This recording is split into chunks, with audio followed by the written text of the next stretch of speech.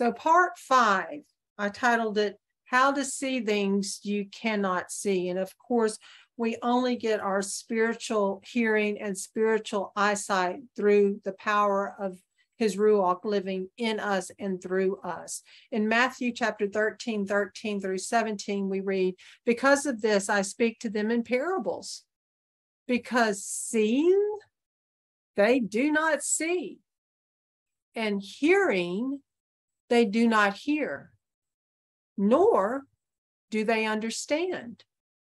And in them, the prophecy of Isaiah is completely filled, which says, Hearing you shall hear, and by no means understand, and seeing you shall see. Don't forget by, to record, Libby. Do what, Mary? Don't forget to record. I don't see the record button hit. Are you kidding me? Well, no, it's on. It's on. Okay, it's recording good. up in the left hand. It's still recording. Okay, great. Thank you. All right. And Matthew 13, 14. And in them, the prophecy of Isaiah is completely filled, which says, Hearing you shall hear, and by no means understand. And seeing you shall see, and by no means perceive. For the heart of this people has become thickened, and their ears are hard of hearing, and their eyes they have closed, lest they should see with their eyes and hear with their ears, lest they should understand with their heart and turn back, and I heal them. And that came from Isaiah chapter 6, verse 9 through 10. And blessed are your eyes because they see, and your ears because they hear. For truly I say to you that many prophets and righteous ones longed to see what you see and did not see it, and to hear what you hear and did not hear it. So, as we discussed earlier, true believers have supernatural spiritual sight and hearing, which confounds at times and frustrates intellectuals because in First Corinthians chapter 1 verse 27 we read but Elohim has chosen the foolish matters of the world to put to shame the wise and Elohim has chosen the weak of the world to put to shame the strong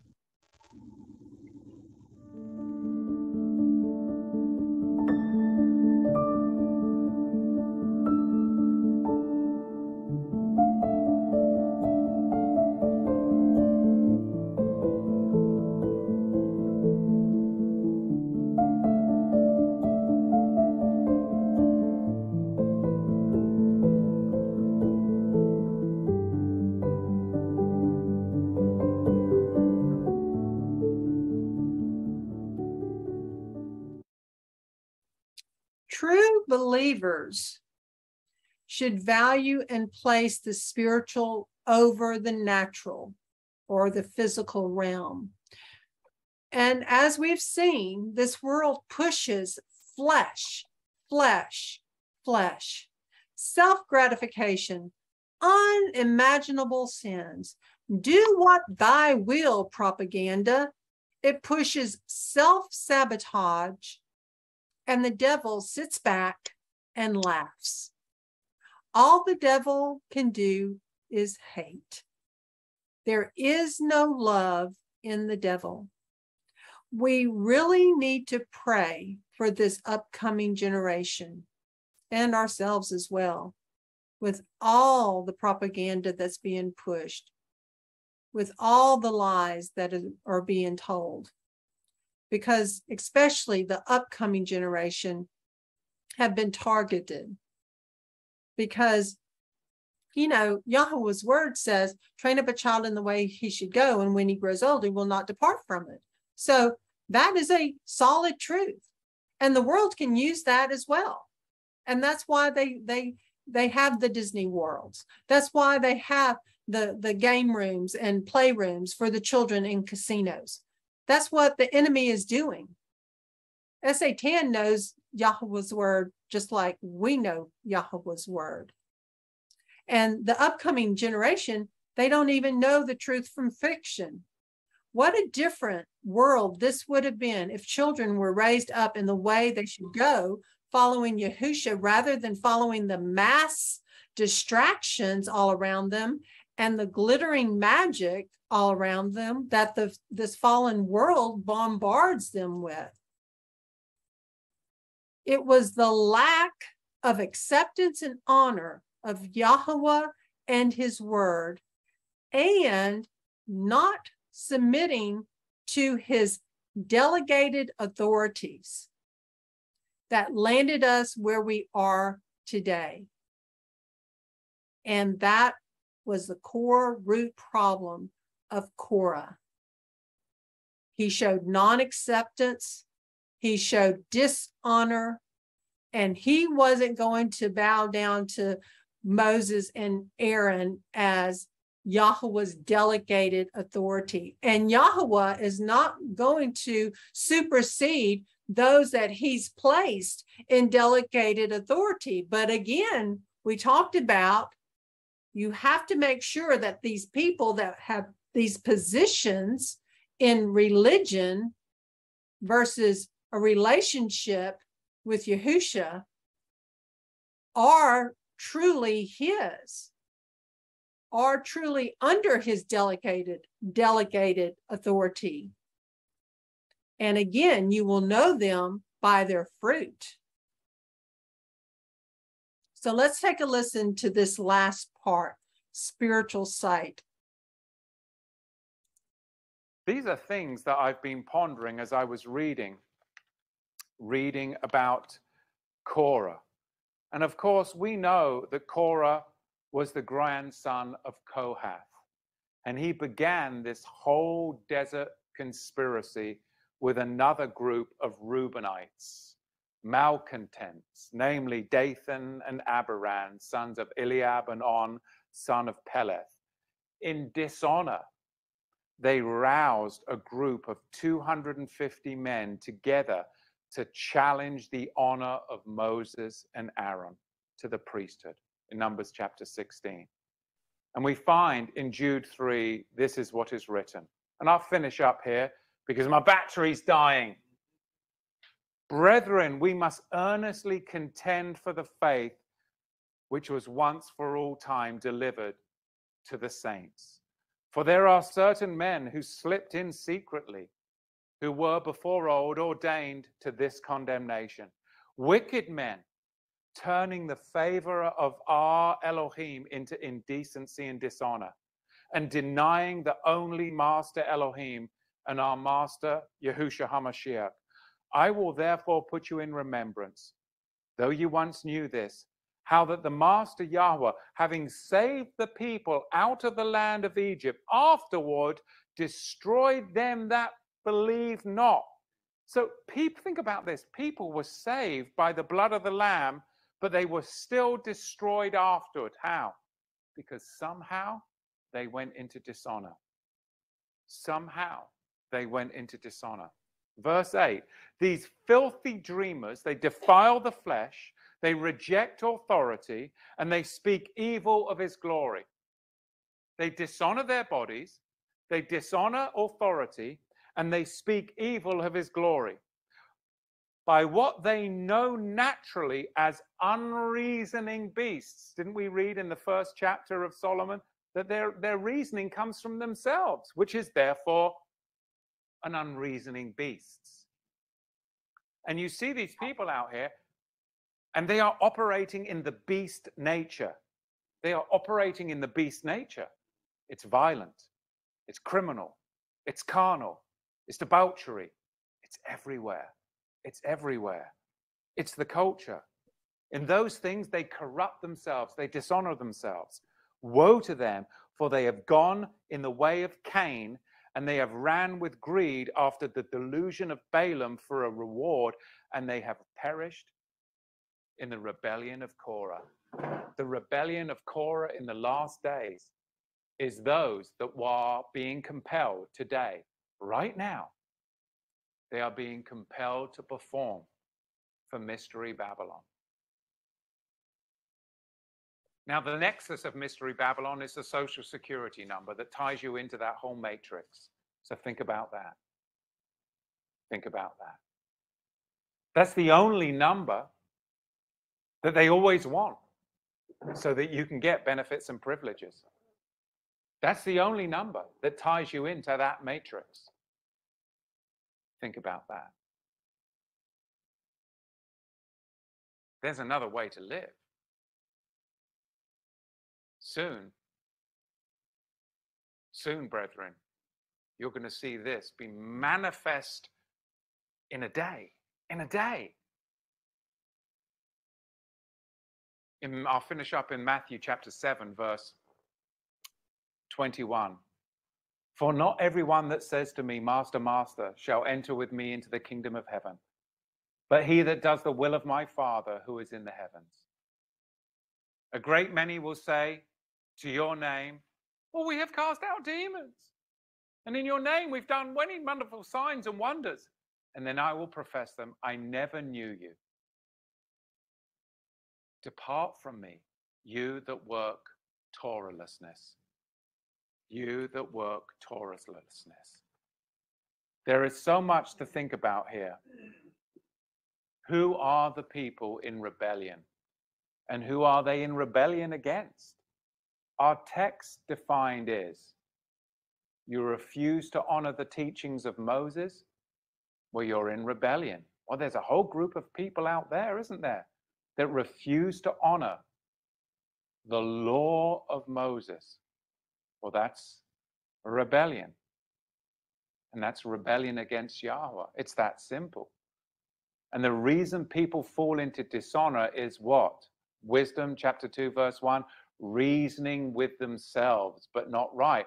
What was the excuse of why we don't keep Shabbat? Oh, well, it's Sunday. What's the reasoning why we don't keep kosher? Oh, well, reasoning with themselves. Because if you actually led these people to the scripture, then they would fight tooth and nail, hook and crook with you over verse and chapter, because their reasoning was coming from themselves rather than like the Bereans.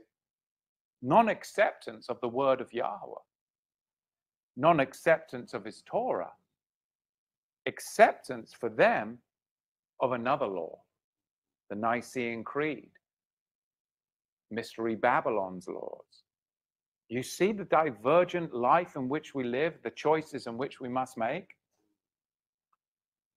Oh, there's so much to teach, so much to say.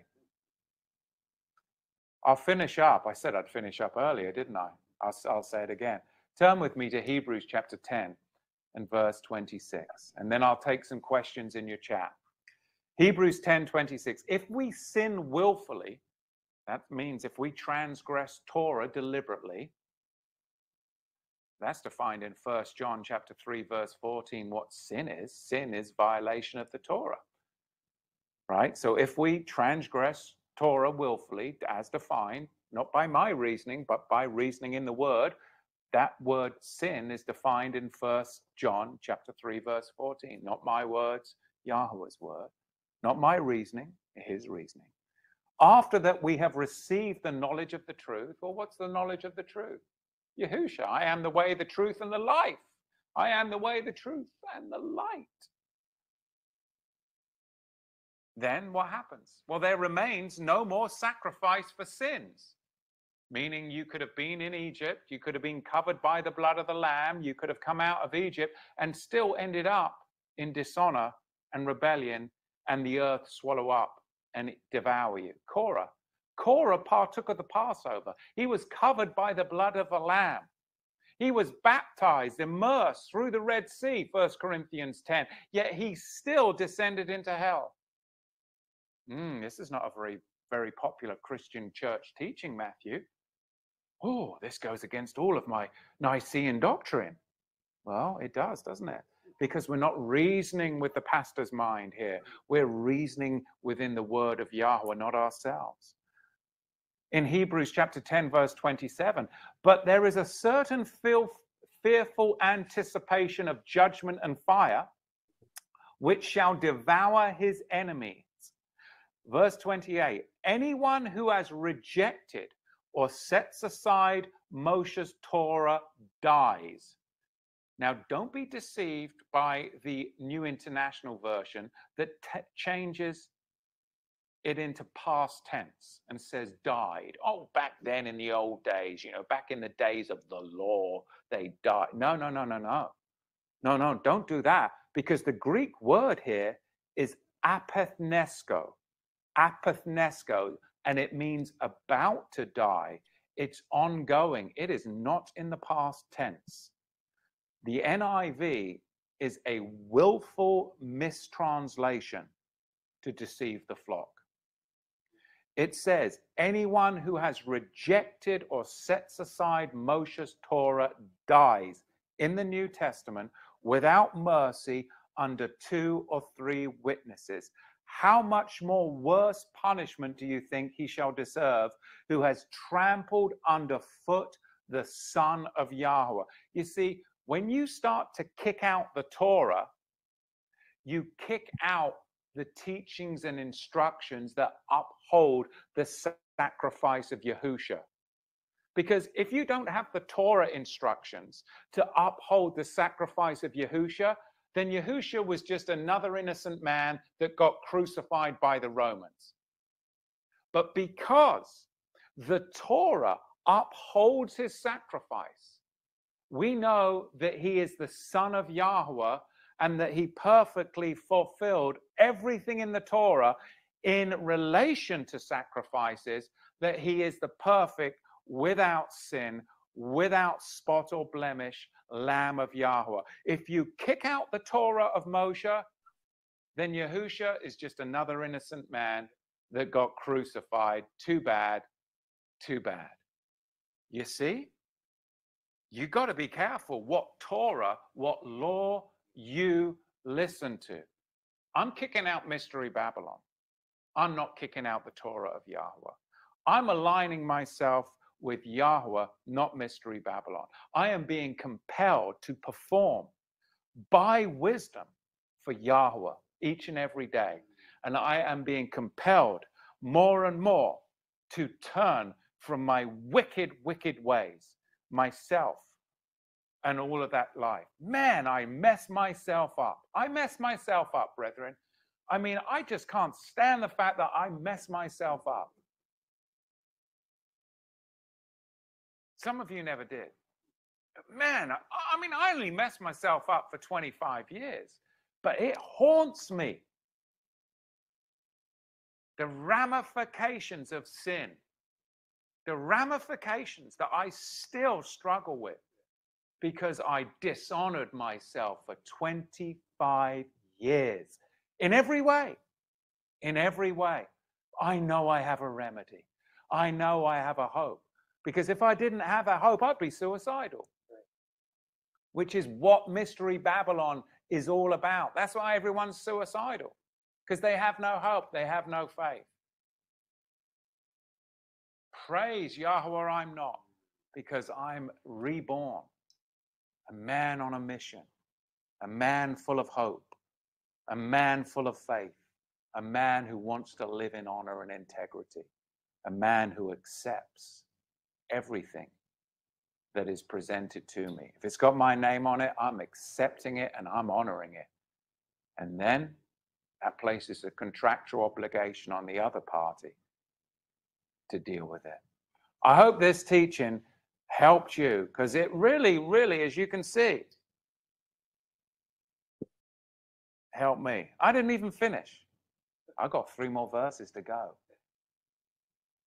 Verse 29 how much more worse a punishment do you think he shall deserve who has trampled underfoot the Son of Yahweh and has counted the blood of the covenant by which he was made holy, honorable as a common thing? And has insulted or dishonored the spirit of favor. That's Sophia. That's wisdom. That's the Holy Spirit.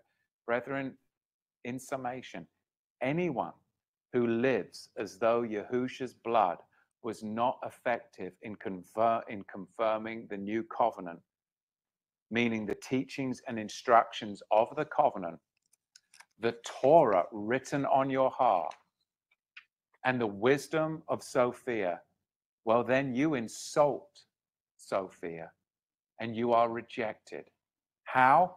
Because you refuse to let Sophia write the Melchizedek new covenant, which is Torah, written on your heart, a better place, by better blood, by better sacrifice, but it's still Torah. Be compelled to perform to Torah, and you shall live in honor.